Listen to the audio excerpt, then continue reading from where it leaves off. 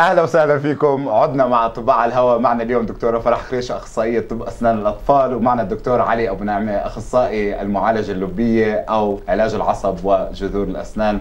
أهلا وسهلا فيكم للمرة الثالثة. أنا سعيد جدا بلقائكم. على فكرة على فكرة هم يعني زملائي وأصدقائي وأنا بستع... بستعين باستشارتهم طول الوقت يمكن يعني يوميا على اتصال إحنا آه سوا.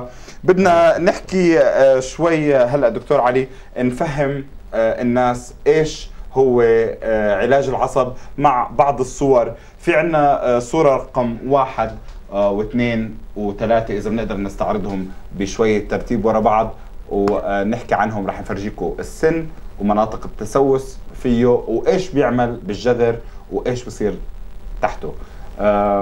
ممكن تعطونا صورة رقم واحد ونستهل مع آه، دكتور علي الشرح عنهم. هاي الصورة قدامنا. okay. أنا أول شيء حابب أحكي للمشاهدين إيش هو العصب. هلأ العصب هو عبارة عن آه، أوعية دموية نهايات عصبية وأنسجة موجودة داخل السن بحميها آه، طبقتين اللي هي المينا والعاج.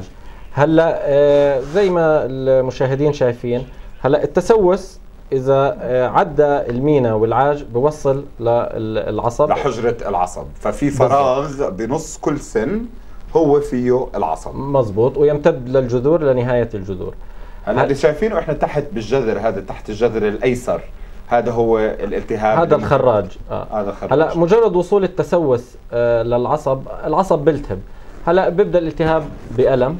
هلا إذا المريض ما رجع الطبيب آه العصب عنده حماية ذاتية. فبموت حاله خلينا نسميها نكروسز هلا بموت. بموت العصب ببطل المريض يحس بأي ألم. فهو بتوقع بعض الحالات بتوقع المرضى إنه هيك راحت انتهى آه مع هي عم تكبر أخذ حبه مضاد حيوي آه مسكن انتهى الموضوع. لا هو ما انتهى بالعكس بلش. هلا آه، بتبلش الفضلات والبكتيريا اللي ناتجة عن موت العصب تتراكم داخل الجذر وبعدين بتنزل على آه، قمة الجذر أو هي الأيبكس وبصير الخراج داخل العظم.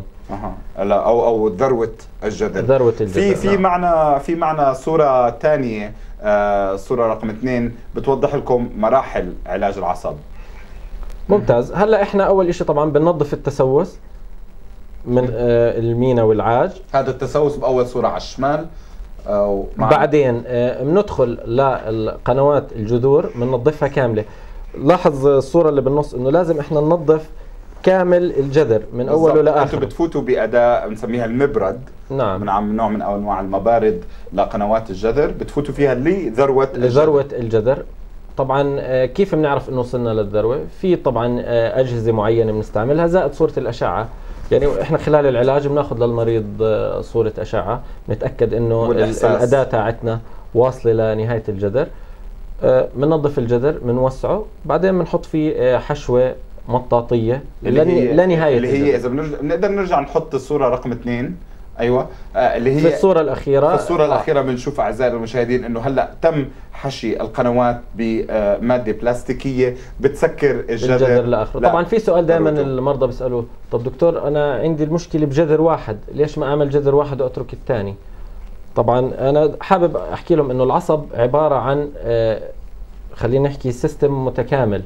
يعني إذا أول العصب انضرب بتسوس أو بأي شيء ثاني كل العصب بيلتهب مش بس الجزء المصاب.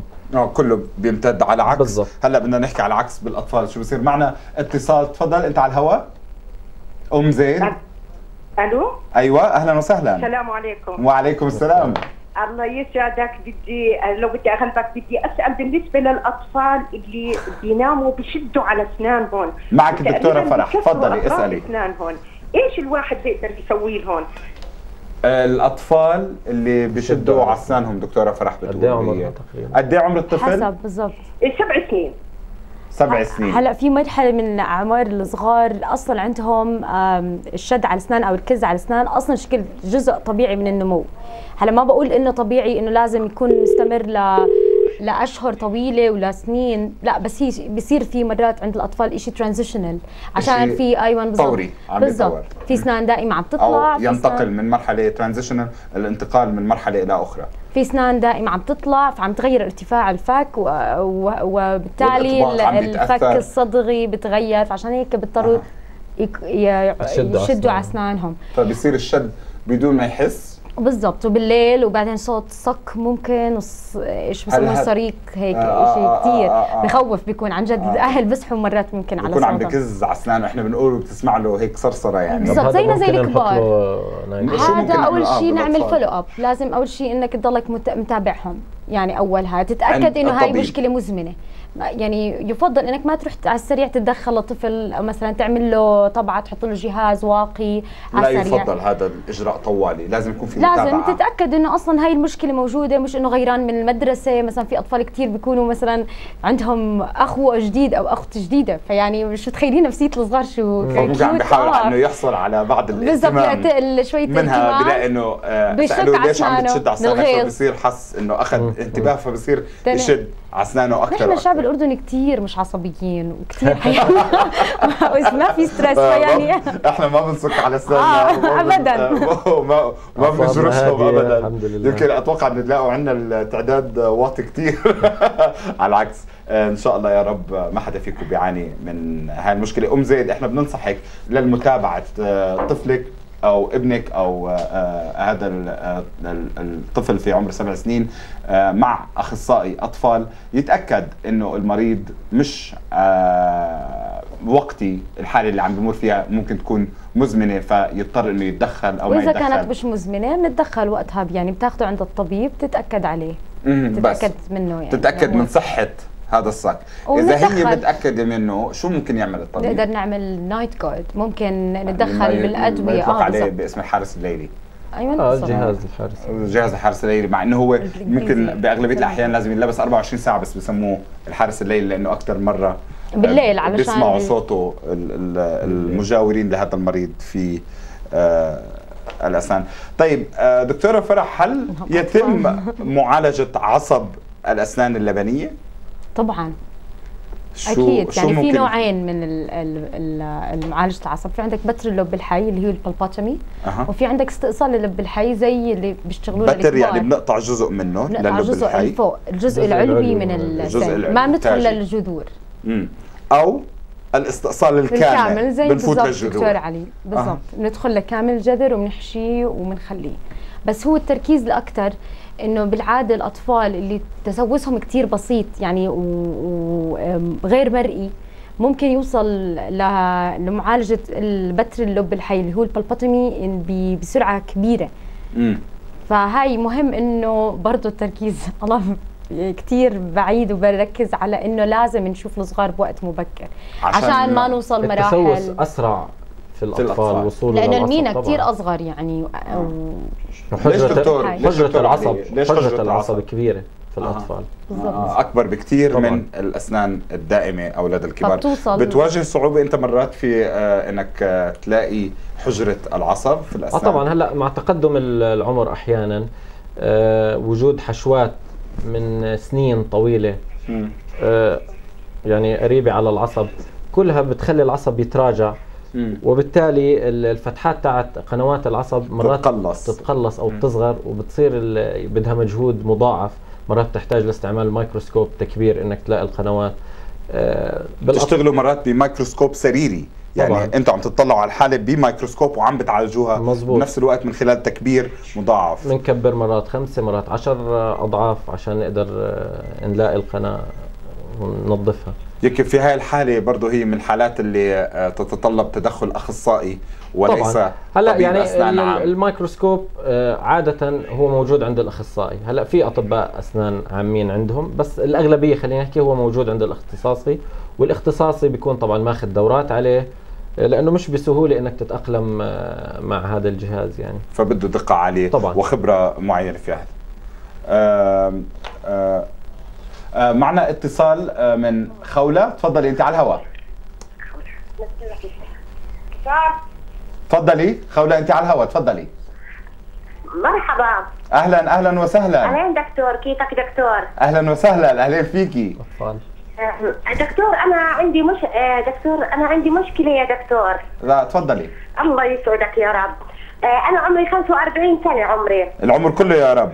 آه ولما أنا طبعا لما أجي أنا دائما عاصة على أسناني عاصة على أسناني على الآخر عاصة على أسناني. يعني بقوم بحس إنه الفك عندي لما أصبح بحس الفك عندي بده انفك عن بعضه يعني. كثر. ما أنا عاصة على أسناني يا دكتور. قد إيه قد إيه صار لك بتحسي بإنك تعملي هذا الشيء؟ أيوه دكتور. قديش صار لك بتحسي إنك عم إلي تقريبا إلي سنتين. لك إلي سنتين. سنتين يا دكتور. طيب مريتي بأزمة معينة آه، أزعجتك آه، نفسية آه عائلية؟ دكتور كان معي أعصاب. كان معي أعصاب كان معي.